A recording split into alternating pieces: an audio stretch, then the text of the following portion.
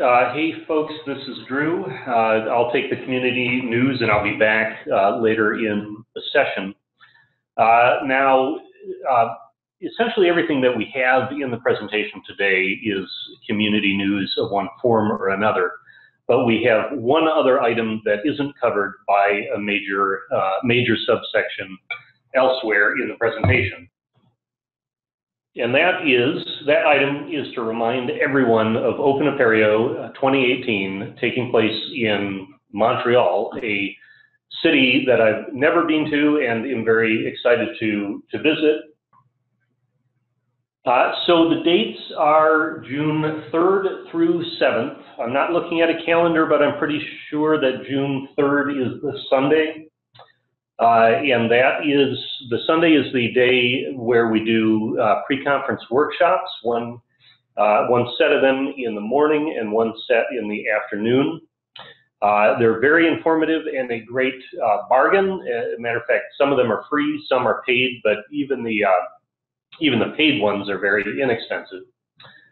the conference will be held at the Delta Marriott. I'm sure it's a lovely venue. Uh, and you should know that early bird registration ends on May 1st. So there is uh, still time, uh, but not a lot of it, uh, to take advantage of early bird uh, pricing. The, the full program and schedule uh, for the event is available now. it's, it's available at that URL. that URL is actually the main URL for the conference. There, there are many things that you can learn there uh, not just the program. Uh, and uh, of course, uh, like we said before, please be aware of, of the uPortal collaboration days. Uh, uPortal, uh, among Apereo projects, uPortal may take the, the conference most seriously or, or, perhaps tied for most seriously. we, uPortal always has good attendance uh, a, a large amount of good content in the program. And in recent memory, we have had this habit of meeting either before or after uh, the main conference uh, activities, uh, before or after, or sometimes both. uPortal collaboration days are kind of a big deal. Uh, they're a little bit informal, uh, but not utterly informal. We normally uh, organize around a, a set of topics ahead of time, uh, loosely organized around a set of topics. That uh, hyperlink, the last one in, on this slide, is where we are gathering um, ideas this time for these collaboration days. Uh, please review the topics, please add to the topics, please indicate which topics that are already there you would also be interested in. Uh, please attend collaboration days. It's a great opportunity to have influence, to have a, a, big voice in the community and the direction of the platform. Uh, we do a significant amount of planning for the next year at the conference, and we're very, uh, very eager to hear what everyone thinks. Uh, with that, uh, I would like to invite, uh, I want to say Jonathan Tran, uh, I think is the one, to cover this topic. And Jonathan, I, I'll do my best not to interrupt you. I'll try to keep that to a minimum but I'm excited to uh, communicate about this topic uh, as well. Alrighty, uh, good morning everybody. Uh, Tim was originally supposed to talk about this, but it seems like he's still in another meeting. Um, my name is Jonathan Tran, I'm from Cal Poly Pomona, and we're basically looking at doing a, uh, a UI refresh of our current portal, My, uh, MyCPP. So quickly, we have about 25, 26,000 students, um, almost 4,000 staff, and we uh, launched uh, MyCPP on uPortal back in 2014. And last but not least, we recently upgraded to uPortal 5 uh, last month. So these are the the concepts or the goals of our uh, UI refresh. Um, like it says, modernize the look and feel, make it more visually attractive. Um, we're looking to also do other things, um, implement elements that are on that we're familiar with on other websites such as Facebook, Netflix, so on and so forth. And also implement um, some behaviors with these the same elements such that they're they behave in a in a way that we're used to. And then also, last but not least, uh, give a lot more um, content on the landing page, especially um, content for um, specific to that user, without having to go all over the place.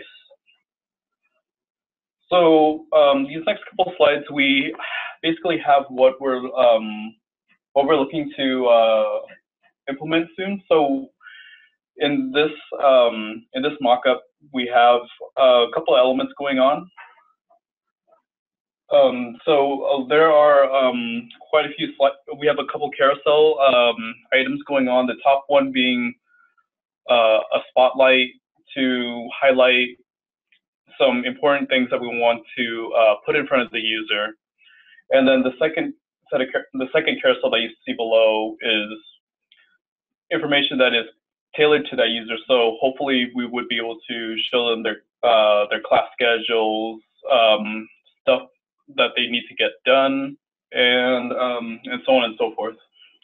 Um, another thing that we're looking to um, hopefully implement is the hamburger menu that we've seen on some uh, many apps, web apps, and especially uh, smartphone apps. And then this would uh, take the place of the current nav that runs left to right on the on the portal. Similar to what uh, UC Riverside uh, has implemented, we're also looking to implement a waffle menu um, that would basically give students a quick launch to real to uh, commonly used services on campus such as uh, Blackboard, uh, Bronco Direct, which is our uh, SIS, email, and some other some other stuff. Um, on the next slide. So in from our goals, we talked about how we want uh, some of these elements to behave in a way that people are used to. And a lot of feedback that we've gotten in the past is that notifications, when you click on the notifications, it goes takes them to either the the tab or the, the portlet for notifications, which is not what users expect nowadays. So um, with working with Unicon, we are getting closer and closer to uh, implementing the functionality such that when you click on the notification icon, it will drop down a list of notifications that the user has. And then on the next slide, like I mentioned in the beginning, we have a couple carousels. So we have another set of carousels at, at the bottom of this mockup for um, other content that we would like to um, bring front and center to uh, the users, to the students. So we have a couple recommended things, and then also at the very bottom, kind of cut off, you also um, see uh, favorites by which students will hopefully be able to just mark as certain things as favorites and be able to jump to them quickly.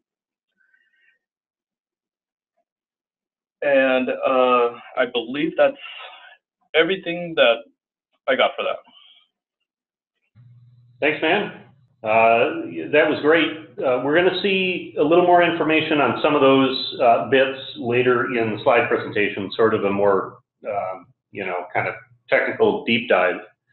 Uh, but the, the next item we have in our agenda is the sustaining engineering update, which I believe uh, Mr. Benito is going to take this time. I am. Good morning, folks. How y'all doing?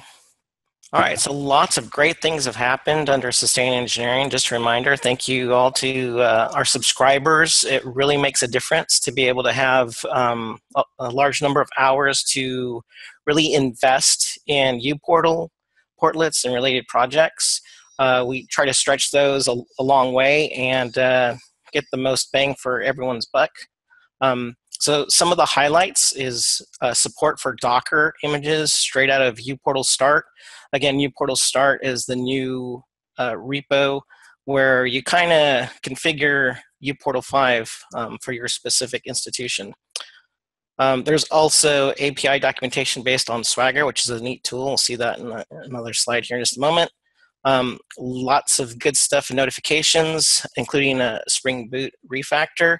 This is going to be something we'll probably want to start basing future Portlet and Soffit projects off of.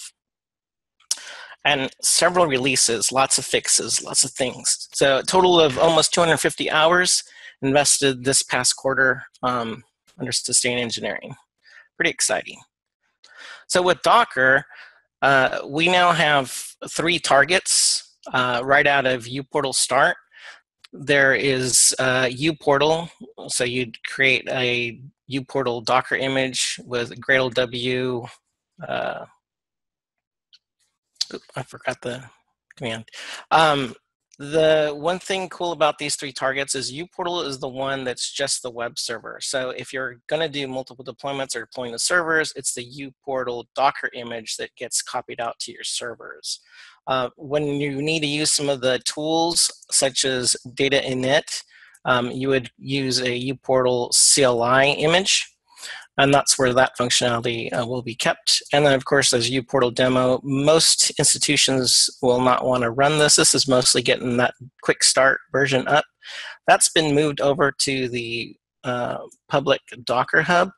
So if you go and navigate to um, the Docker Hub and search for either Apereo or uPortal, you'll see uPortal demo there, and you can go ahead and run that. It's pretty easy. And there's the command at the bottom of the slide, docker run dash IT dash P 8080 colon 8080. That's to make sure it's still on the same port.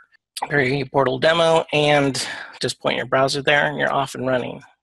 Um, if you don't use Docker, we have alternatives we'll discuss um, in just a few slides. But this is really exciting, kind of jumping on to you know modern approaches. Uh, Docker certainly being one of them to help facilitate quick turnaround and better interactions with your operations team or if you're in DevOps. Um, certainly a, a, big step forward for us. Another thing is with the movement towards uh, different UIs and just more interesting front end technologies, uh, single page apps and whatnot, uh, we certainly want to start promoting our APIs. To this end, uh, we have some Swagger integration now. So if you bring up uPortal after you've made a small configuration change, the configuration change um, is documented in the uPortal repo under docs, developer, other API. Um, and then you just set a flag to true and it'll generate the Swagger, Swagger pages for you. And then you can go ahead and go and dip into the API calls and see what the return values are to either create or enhance different front ends or just grab that information um, for other needs, even just frontlet, uh, portlet uh, in front using JavaScript.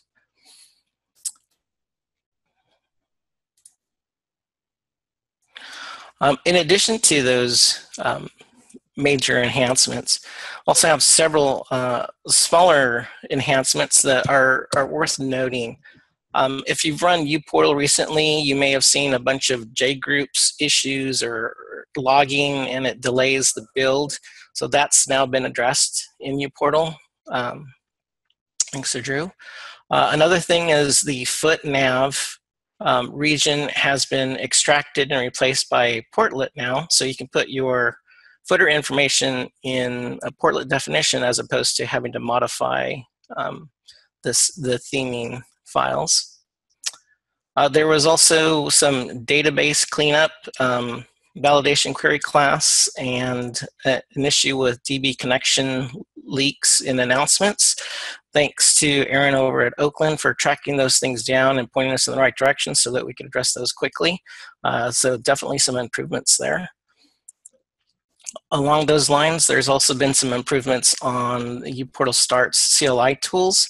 So run Gradle W tasks to see all the new tests that are coming out.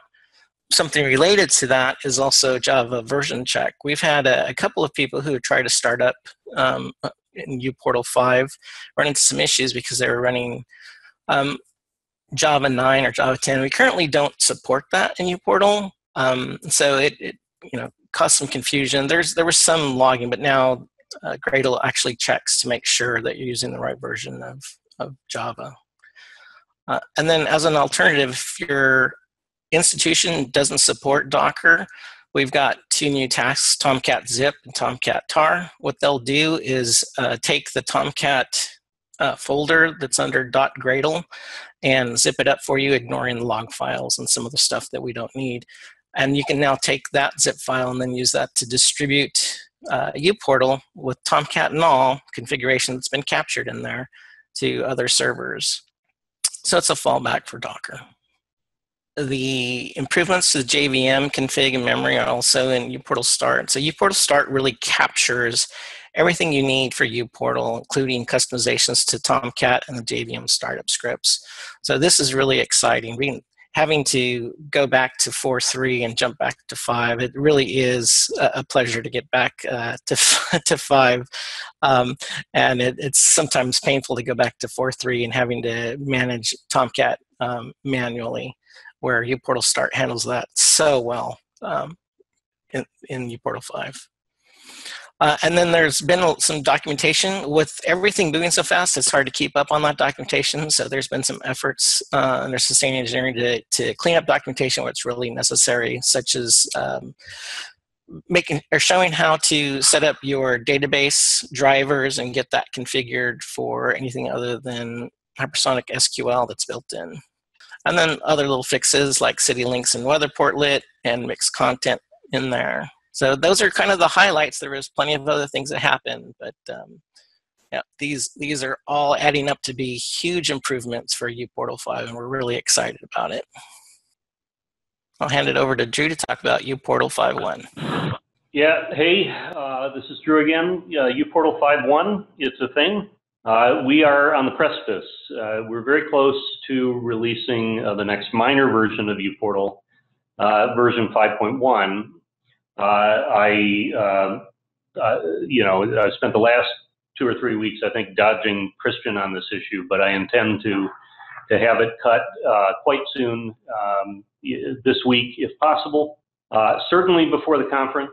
It does not have uh, a, a, massive amount of new features or changes the way that 5.0 did. It's not a new uh, major release. It, it's a new minor, and we should sort of fall into the rhythm of having a couple, three, uh, you know, maybe even four of these a year, if we can. Uh, the process of moving from 5.0 to 5.1 uh, should be extremely easy and streamlined. Uh, the version of uPortal that, that uPortal Start uses is controlled by a property. Uh, sometimes moving a, a minor version like this, uh, there will be you know a little bit of data or configuration that you will potentially want to and perhaps even need to, but probably want to uh, update in your uPortal start when you shift uh, minor versions like this. You should look uh, into the release notes uh, for that purpose to see you know what there is to know uh, about moving to the next minor version when it's available. Uh, as it stands, the uPortal 5.1 contains the four new items that you see on this list. Uh, in, in, addition to all the fixes, uh, you know, bug fixes, um, you know, performance improvements, documentation enhancements, so forth, uh, that have already been added to uh, uPortal 5.0, the different 5.0 versions. All of that is also in uPortal 5.1.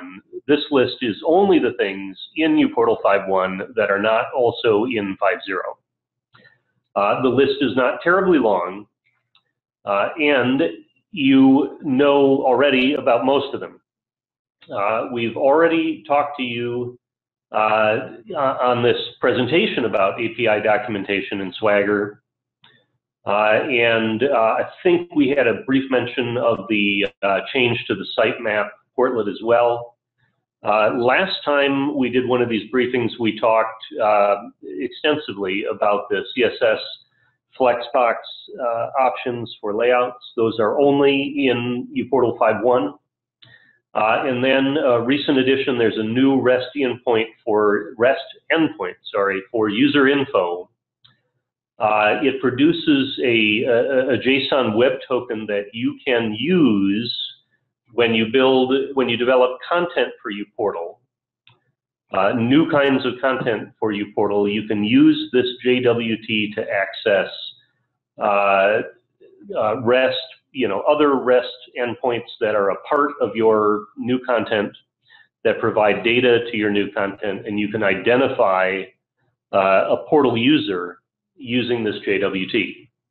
And you're going to see, a, a you know, an example of what you might uh, do with that shortly.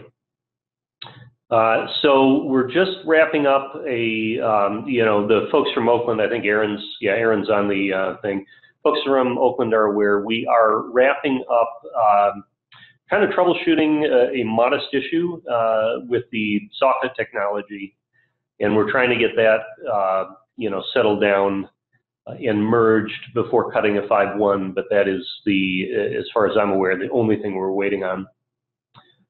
Uh, so late this week, uh, you know, sometime next week, at the earliest the following week, I'd say uh, we will we will see a, uh, a uPortal 5.1. Uh, all right, uh, next slide. And at this point, handing off to Christian. Uh, and everyone, you know, wake up. I hope you have coffee because this is um, this is kind of a big deal, and there's going to be a lot of information on this at the uh, conference as well. please get your questions ready. it would be fantastic to spend, um, you know, 10 minutes or so at the end of this call, uh, you know, covering questions, doing Q&A, mostly focused around this topic. Anyway, take it away. Thanks, Drew. Howdy, folks. Um, so up next, we're going to be talking about kind of some of the new approaches to being able to add content into uPortal. And um, the best way to kind of introduce it is to show one of the new components that we've added in that uses this paradigm. Um, this is the new notification dropdown, which was built in partnership with Cal Poly Pomona. Um, kind of the story behind this is um, during their user research, they discovered that users wanted to be able to um, get information about um, upcoming um, events and upcoming assignments and so forth at kind of a heads up level without having to go to a new page and then go back they just want to be able to glance at it, see what's new, um, see any priority items, and continue on the flow interrupted. Um, to accomplish this, we kind of um, borrowed a, uh, an idea that's widely used through a lot of social media, which is a um, notification dropdown that gives the heads up right there on the page without navigating off, um, with still keeping the ability at the very bottom to click on see all notifications and get a full listing of the entire history of um, events and um, happenings going on. Um, so for this, this is the um, unstyled vanilla uPortal version. Um, this can be easily themed and customized for each university's needs. Um, one of the most exciting parts about this is in how it was built. And this is where a technology called web components comes in. Um, so web components is all about being able to take content from different sources, whether that's different sites or completely different portlets or soffits, and being able to integrate those on a page without them um, conflicting with styles, um, breaking each other's um, content, um, without the JavaScript somehow breaking each other.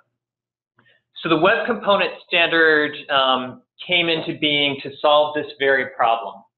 And there are um, four parts to the web component standard and one part of the JavaScript standard, which we're going to talk about, which helps support this idea. Uh, the first one is custom elements. Um, custom elements is incredibly simple. You just um, have your piece of HTML that you want to display and you give it a custom name. For example, the uh, the notification dropdown that we showed on the last page is called notification icon. So it's its own HTML element, notification dash icon. And that can be dropped on the page as many times as it needs to be, and it can have um, properties passed to it um, through HTML attributes, which lets these be configured. Um, another aspect of the standard is called Shadow DOM. Shadow DOM is all about um, we want to be able to create interesting and engaging styles and themes for these components, um, but we don't always know the impact that it may have on some of the surrounding content. Um, so Shadow DOM specializes in creating a, a container around the styles for this component, like the notification icon, so that nothing from outside can impact the styles of that component, and nothing from inside it will impact things surrounding it on the page. Another aspect of the standard are um, HTML templates. Um, these are just little pieces of unrendered HTML that we can fill values into um, as needed. Um, it just creates a nice way that we can do templating without have to having to try to um, write HTML kind of mixed into strings or some other hackery. Um, you just have the HTML, drop values into the right places, and it renders beautifully. Um, there's a semi-standard part of the um, specification as well called HTML imports. Um, that lets a HTML tag import basically another document or another part of the page. Um, but it's not supported by all browsers, and we haven't been leveraging that one as much. Um, instead, we've been leveraging a feature of the JavaScript standard itself, um, which is JavaScript modules. So we can actually import a specific um, JavaScript file, and it will, similar to the HTML component, contain that JavaScript in its own little bundle um, that won't impact other parts of the page. Um, so to put all of this together, we've been evolving the build system. Um, we now have two parts to it. The part that actually builds these new components is Node.js, which is a JavaScript um, runtime that can run on a server, um, and it can build JavaScript files down to compact bundles that we can easily add into a page. Um, but we still want to keep comfortable uh, things comfortable for folks. So we integrate the JavaScript build into Gradle um, so you can still run your standard Gradle build and it will automatically pull down Node.js, um, run the appropriate scripts, and build out the expected output file in the notification war, for example, without needing to do additional setup steps. Um, for the, some of these initial components, we've been leveraging React. Um, and to help make that process simple, we've been leveraging a system that comes with paired with React um, called Create React App. Um, it takes care of a lot of the bundling and building, optimizing all of the files so that we will always have a efficient and easy to add to the page component. And then we're also leveraging another technology called Reactive Elements, which binds React to the web component standard, which we talked about on the last slide. And then to make styling and integration easier, we're leveraging React Font Awesome, which adds icons onto the page and makes it really easy to add just the parts of the icons that you want. And React Strap, which wraps um, Bootstrap with some nice accessibility um, tidbits added to it um, into React so that we can build these components um, accessible, easy to use without having to add a bunch of um, additional ARIA attributes after the fact. And last but not least, we're leveraging React i18next, which is an internationalization library, which lets us pull in um, whatever language a user is using. We can translate each of these components into that language and display it appropriately. Um, some really exciting parts about this new paradigm is there is zero JSR 286 portlet technology, and these components are 100% static HTML and JavaScript. And we're able to leverage the existing um, REST APIs within uPortal. Um, in addition, we're able to leverage the brand new um, user attribute system, which Drew um, integrated in, which lets us um, authorize these components with uPortal in a very standardized OpenID Connect um, way and grab any attributes or user information that we need from the portal um, and then communicate back and forth with the REST APIs in a completely um, secure manner.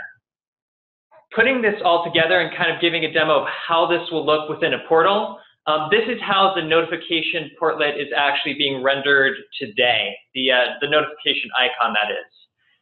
We have just a single custom element, the notification icon HTML, and underneath it, it's importing the JavaScript file that has everything bundled together. And that's it. Um, it renders on the page and it takes care of all of the authentication, um, communicating with the REST APIs, all within that static HTML and JavaScript. Um, so it's a pretty exciting way moving forward with uPortal that we can build um, applications that will be more engaging and can render even offline at times um, and use very modern techniques that many um, front-end developers will be familiar with. Um, so we're pretty excited about this, and we hope to get some more community discussion ongoing with that. Um, do folks have any questions about web components or about anything else we have chatted about during the presentation? Um, go ahead and pop those questions into chat and we can answer them as they come in. I know we can count on, on someone asking a question. that's a good uh, that's a good point, Peter. Uh, the footer was the the footer uh, sitemap was converted to a portlet, uh, and now the only only thing on the page that is not a portlet is the navigation menu. And it may be difficult to convert that. It's very complicated. It may be very sort of difficult to convert that to portlet. Not impossible. Uh, but what we might do instead is just provide a, a, configuration option to turn off the tabs and use uh, different uh, navigation strategies besides those uh, traditional tabs different navigation strategies that are portlets or web components. and Aaron Thanks, says, Matt. I like web components. Um, thanks, Aaron. We're pretty excited. We've heard a lot of positive feedback on web components. We're uh, hoping to see more adoption both within uPortal and within the community of that technology. Uh, the first one, so from question from Christian, was it difficult to do uh, this paradigm shift? Uh, the first one really kind of was difficult. Uh, we spent really, I would say, about double the time that I would hope we could do this kind of widget uh, doing it the first time because we had to solve a lot of problems. We had to uh, get uh, Gradle and you know Node talking together, you know, to build and package components uh, we had to deal with, you know, we had to take a good look at how we identify use, portal users, you know, to a, a REST API that is not portlet based. And we wanted to wanted to solve all these things in a general way so they could be easily, you know, used again the next time. Uh, Peter, yes, it absolutely is. That that widget, that web component has already uh, being merged to the notification portlet, there's not a release yet. Uh, it's in master. There should be a release. We are just we're working with Cal Poly and you know with ourselves with whomever uh, just to kind of harden it. You know, just to finish kind of testing it and kicking the tires before we do a a release. But it's available right now for um, you know, you, you can update your project, you can build a 400 snapshot of notification and run it in your local portal or any portal you like, and you can see it. Uh, when we cut a release, it will be bundled with uPortal Start right away. And by the way, there are more of these things coming. I don't think we mentioned that, but the, uh, the Cal Poly Waffle menu is coming as a web component. And the browse carousels at the at the bottom of the page on the Cal Poly uh, experience are um, are coming as a web component as well. I can't, you know, not too sure exactly when, but we have so because we have some you know other things on the schedule, we're mixing it all mixing it in together. But uh, both of those are works in progress. So where is the line? So the the concept is so a soffit is uh, a way. A soffit is a piece of content uh, that goes, you know, for uPortal, a piece of custom content for uPortal uh, that is not JSR 286 portlet based, uh, which is great. Uh, we can get away from that. We can easily produce soffits that are Spring Boot projects and uh, you know don't have dependencies on on the Portlet API and you know and we can develop them without learning about crazy things like action requests and resource requests and things that don't exist elsewhere in web development. Uh, that part is great about soffits, but the original uh, the original approach to soffits that was made available in uPortal 5.0 is still is still a strategy. It, it, nevertheless is still a strategy for producing um, DOM elements based on server-side rendering. I mean, it's it's a better form of server-side rendering. Uh, you know, well, better in some ways. It's attractive, uh, attractive to me. Uh, but it is still server-side rendering, and more and more we are just get getting feedback from the community, uh, particularly from members of the community or elements within the community who are most interested in developing new stuff. Uh, we're getting feedback that you know that we are no longer uh, interested in server-side rendering, just full stop. Uh, so the web components take takes care of that. And from Peter, how do we see the Swagger documentation in the uPortal API? Uh, there's uh, there's a property that you have to turn on in uh, typically in uPortal.properties. It's in the documentation, the uPortal 5 manual. There's a property that you have to add to your, your uPortal.properties, and the value has to be true. Uh, and then when you start Tomcat, you can go to a specific uh, URL. Does anyone remember it offhand? It's like swagger underscore UI dot HTML or something. Uh, it's also in the documentation. Uh, and the reason that we need this property is that we probably don't want the Swagger documentation published to a, a production uh, uPortal system. It's, it's a security consideration because it provides you know, too much documentation and insight into how the portal works. Uh, so you have to turn it on with a property. Christian's got the, uh, you know, the manual page. And Christian C can give you that manual page in French.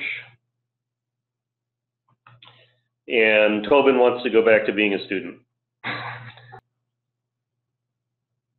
Yeah. Uh, so, you know, as we add new things to uh, uPortal 5, 5.0, uh, we are being particularly careful, especially with new things, uh, to give, to represent them in the manual, in the documentation. I really I want to encourage uh, all of you in no uncertain terms to look uh, at the notification, um, you know, web component, notification icon web component uh, that was recently done and follow the work around the waffle menu and the, the browse carousel. Uh, the, uh, you know, I will warn you, it is kind of, this move, this shift kind of reminds me of the shift from subversion to Git the reasons uh, for doing so, to me, they're undeniable.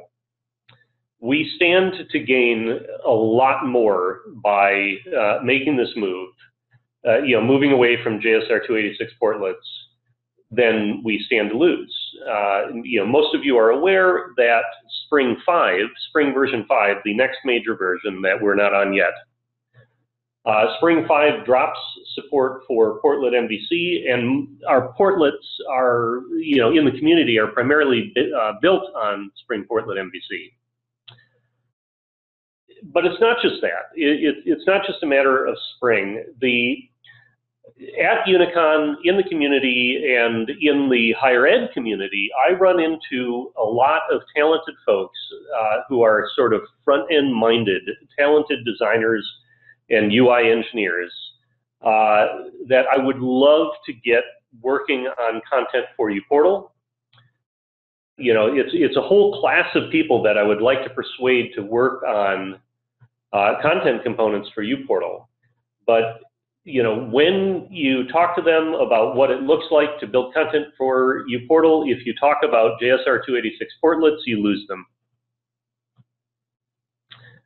Uh, so we need a new story. We've worked hard for you know months. This this odyssey, this you know new paradigm and opportunity is uh, a long time in the works. It's not out of the blue, and, and we've worked uh, you know for several quarters. Uh, you know, in the community, in oral tradition, and on the list and, and elsewhere, we've worked to develop a new story uh, for content development. Uh, and this is important. Uh, this sets us up, this move helps to set us up for the future. Uh, it is, you know, for those of you who don't do node development, and that's me, uh, not yet, it is, you know, it's something new and it's slightly complicated. Uh, but I'm, you know, gladly willing to do it because it, um, you know, we need to set our, ourselves up for a future.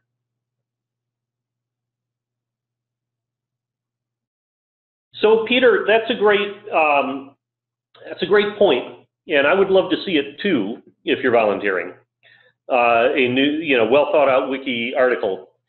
Uh, but but I want to nuance that. I want to add to that. I kind of think that the so you know so soffit is a word that uh, uPortal oh, welcome, Tim. You're just in time. Uh, soffit is a, a, a word that the uPortal you know platform adopted and added meaning to. Uh, you know, said you know soffit is the word we're going to use to describe this thing. Uh, you know, we're the ones who who added meaning to that term in this context in the first place. Uh, so I think we have the opportunity to evolve that term soffit in the direction of these web components. To me, these are two sides of the same coin.